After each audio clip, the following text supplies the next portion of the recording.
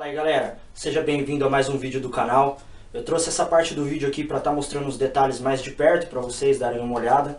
A primeira coisa galera, é, quem pôde observar no vídeo aí a parte do papel machê, que é a parte do revestimento, é importante essa parte para a arma ficar firme, tá bom? E para também cobrir umas imperfeições do papelão, que são as, as dobradiças do papelão, tá? Nessa arma aqui, essa segunda arma que eu faço, eu fiz com jornal e usei cola cascores.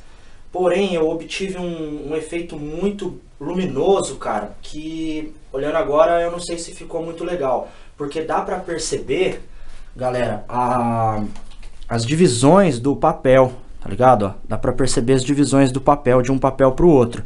Ah, usando jornal, tá bom, gente?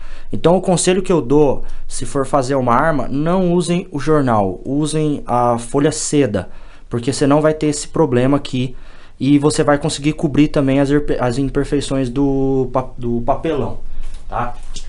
Então vamos olhar mais aqui, galera. Primeira dica que eu dou para quem for fazer esse projeto. Coloquem parafusinhos em tudo, ó. Aqui na coronha eu coloquei os parafusos aqui, aqui. Simula que a arma está realmente parafusada e que as placas da arma estão parafusadas.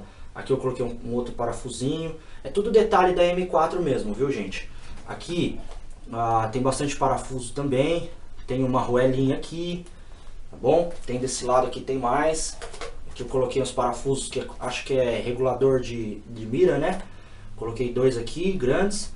Coloquei mais auréolas também. E como vocês puderam observar, eu usei cano de PVC para desenvolver ela. A mira é feita com cano de PVC, tá bom? Coloquei aqui uns, uns outros detalhes, a tampinha de canetinha, né? A tampinha da cola Tech Bond. Aqui na mira, ó.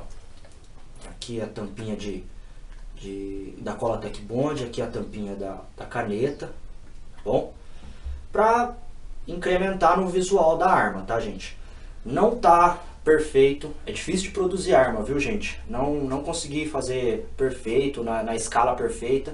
Você acha, se você quiser, a escala da arma na internet, você acha isso, é só procurar no Google que você acha a escala da arma exata, mas é difícil de seguir e eu achei que, que é desnecessário. Você consegue fazer no olho, claro, usando uma boa régua, um estilete, usando um material apropriado, uh, sem seguir a escala certinho. Galera, a mira eu fiz, como vocês puderam observar, com a tampinha da Cola Tech Bond também.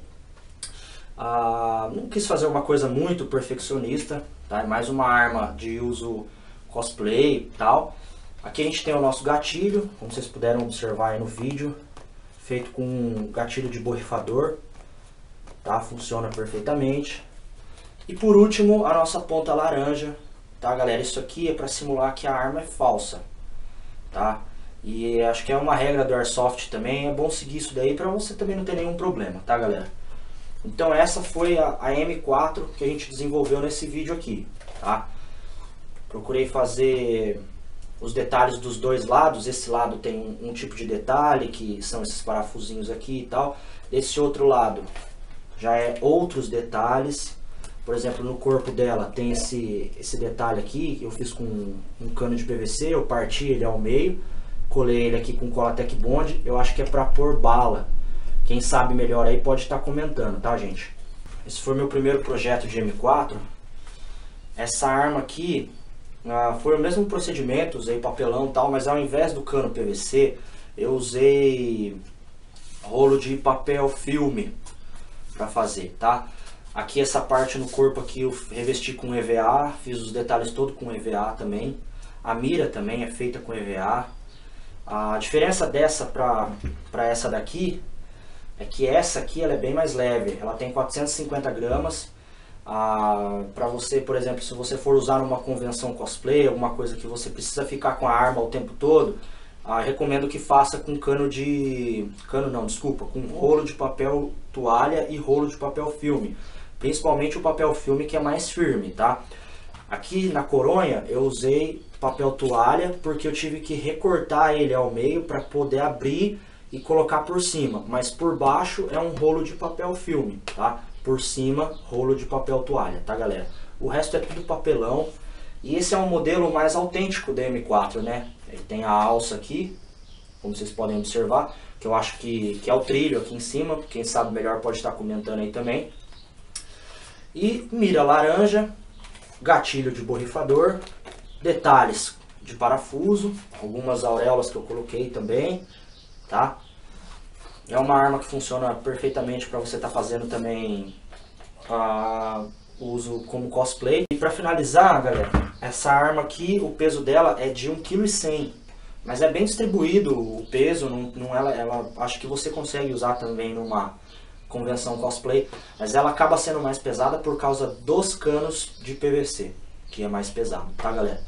Aqui eu fiz um detalhe diferente, como vocês puderam observar aqui, eu fiz com papel sanfonado, papel sanfonado, tá? E é isso galera, espero que vocês tenham gostado desse vídeo, primeiro vídeo do, do, do ano, primeiro vídeo de arma também. Se você gostou do vídeo de arma, quer mais, quer saber mais de arma, comenta aí, isso é importante deixa um like, compartilha com seu amigo que gosta de arma, que gosta da M4, que quer desenvolver uma M4, mostra lá pra ele que tem um jeitinho fácil de fazer aí, tá? E galera, é, sobre a, o cosplay do Justiceiro, o último vídeo tá em andamento, tá? Eu tô desenvolvendo lá o codre, vou fazer pra vocês o codre e fiquem tranquilos que eu vou entregar o vídeo aí já já, tá bom? Então um abraço, fiquem com Deus, se inscreve no canal se é a primeira vez que você está por aqui. E valeu. Aí, M4.